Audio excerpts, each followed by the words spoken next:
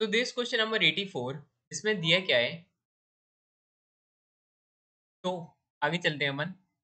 तो अपन को एंगल निकालना है इन दो लाइंस के बीच का, ठीक है? तो अपने पास डायरेक्ट फॉर्मूला है एंगल निकालने के लिए। Tan theta is equal to m two minus m one upon one plus m two m one ठीक है?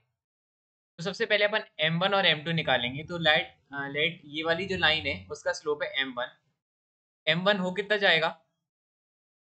एम वन हो जाएगा root three x sorry root three हो जाएगा एम वन ठीक है?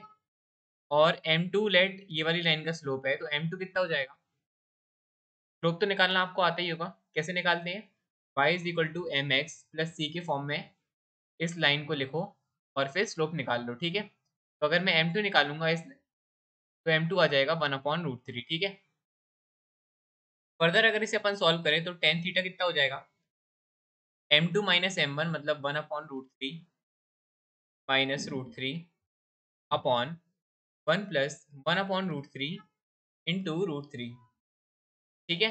इसका मॉड लेना है अपन को ठीक है? तो आ, ये आ जाएगा one minus three upon root three upon two which is further equal to minus two upon root three upon two और ये हो जाएगा minus one by root three. तो यहाँ से टेन थीटा की वैल्यू आ गई minus one by root three का मॉड। तो अपना टेन थीटा कितना हो जाएगा?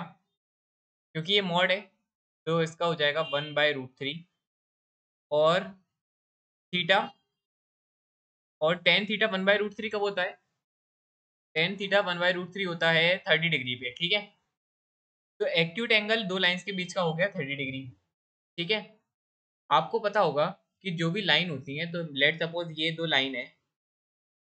लाइन लग नहीं रही है ये। तो एक ये लाइन है और एक ये वाली दूसरी लाइन है, ठीक है? तो देखो लाइंस के बीच में दो एंगल होते हैं। एक तो ये एंगल होता है, ठीक है? ये है एक्यूट एंगल मतलब दो लाइंस अगर एक दूसरे को कट करेंगी तो एक एक्यूट एंगल फॉर्म होगा और एक ऑप्टिस एंगल फॉर्म होगा। ठीक है? तो अगर एक्यूट एंगल होता है थीटा तो ऑप्टिस एंगल हो जाता है 180 एटी माइनस थीटा ठीक है? तो ये देखो, इसमें ये देखो, ये एक्यूट एंगल है। अब अपन, क्योंकि क्वेश्चन में अपन को दिया नहीं है कि अपन को एक्यूट चाहिए कि ऑप्टिस चाहिए तो अपन को दोनों बताने चाहिए।